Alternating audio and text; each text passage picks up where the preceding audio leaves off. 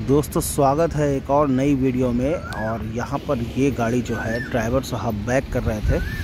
और सामने एक ढाबा है। ढाबे पे ये गाड़ी लगा रहे थे बैक करके। लेकिन पता नहीं किस तरीके से वो देख नहीं पाए कि पीछे जो है एक खाई है। यानी कि एक गहरा गड्ढा जैसा है। और पीछे के टायर जो थे वो गाड़ी के उस गड्ढे के अंदर चले गए हैं। और आगे का टायर देखिए, ये हवा में टक गया है। तो कहीं ना कहीं ड्राइवर जो है कभी कभी चूक कर जाते हैं या ध्यान नहीं दे पाते हैं। देखिए, सामने ढाबा आपको दिखाई दे रहा है और मेन रोड है, मेन रोड के किनारे ही ढाबा है और ढाबे पर रुक रहे थे ड्राइवर साहब या जा रहे थे, इसके बारे में तो नहीं पता है। तो यहाँ पर देखिए, गाड़ी पलट ना जाए, उस तो जैक लगाने की भी यहाँ पर जुगाड़ बनाई है ड्राइवर साहब ने कि जैक लगा करके गाड़ी को रोक देते हैं, लेकिन एक पेड़ लगा हुआ है। इस पड़ोस में देखिए, टायर देखिए, पीछे वाला कहाँ घुस गया है। तो पेड़ होने की वजह से जो है गाड़ी पलट पलट तो नहीं सकती है। देखिए, पेड़ लगा हुआ आपको दिखाई दे रहा है। तो अगर गाड़ी ज़्यादा झुकेगी तो इस पेड़ से टिक सकती है। लेकिन फिर भी ड्राइवर साहब को काफ़ी डर है। ड्राइवर साहब कहीं गए हुए हैं, आने वाले हैं। तो मैंने सोचा, क्यों ना वीडियो बना करके आप लोगों को दिखा देता हूँ। अभी क्रेन के लिए भी इनसे बात चल रही है। और अगर ये कहेंगे तो मंगवाई जाएगी, नहीं तो इनकी कंपनी, जिस कंपनी की ये गाड़ी है, वो बोलेंगे तो क्रेन मंगवाई जाएगी।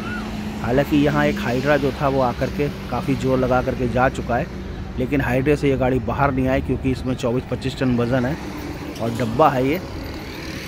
देखिए किस कंडीशन में ये फंसा हुआ, मैं चारों तरफ़ से आपको दिखाने की कोशिश कर रहा हूँ।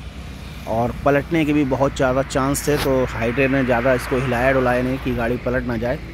और एक क्रेन से ये निकल भी नहीं पाएगी, यहाँ पे दो क्रेनें लगानी पड़ेंगी, जो इसको एक रोकेगी और दूसरी क्रेन इसको खींच करके बाहर निकालेगी। तब जा कर के ये गाड़ी बाहर आ पाएगी। तो देखिए किस कंडीशन में गाड़ी फंसी हुई है। और ये वही जगह है जहाँ पर एक सरदार जी का कंटेनर फंस गया था। आपने पहले वीडियो में देखा भी था। अगर नहीं देखा हो तो मैं आपको डिस्क्रिप्शन में लिंक लिंक दे दूँगा। वहाँ से जा के आप देख लीजिएगा। गाड़ी निकलने के बाद जो है, सरदार जी ने इसी ढाबे पे गाड़ी खड़ी करी थी। उनकी गाड़ी थोड़ी सी पीछे फंस गई थी और ये थोड़ा सा आगे फंसी हुई है।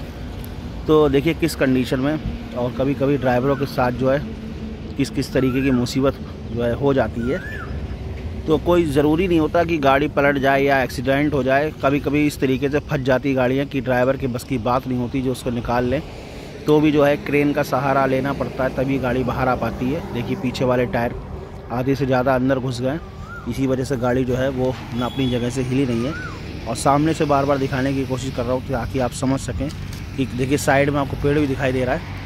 तो ज़्यादा झुकती तो उस पेड़ से टिक जाती, लेकिन रुकी हुई है अपने आप गाड़ी है और अगर एक क्रेन से इसको ज़्यादा धक्का मुक्की करी जाए तो गाड़ी पलट भी सकती है। तो इसीलिए जो है, ड्राइवर साहब दो क्रेनें मंगाने की जुगाड़ कर रहे हैं। और दो क्रेनें आएँगी, तभी इसको निकाला जाएगा। तो ये कंपनी के द्वारा निकाली जाएगी दोस्तों, ड्राइवर साहब अपने आप नहीं निकलवाएँगे। तो काफ़ी अभी इसमें लंबा प्रोसेस रहेगा। और काफ़ी दूर मैं आया हूँ इसका वीडियो बनाने के लिए करीब करीब 40 से 50 किलोमीटर की दूरी है। तो मैं ज़्यादा देर यहाँ पर रुक नहीं सकता हूँ। अगर मेरे सामने निकाली गई तो मैं आपको इसका नेक्स्ट पार्ट दिखाऊँगा। और नहीं निकाली गई तो मैं फिर आपको नहीं दिखा पाऊँगा।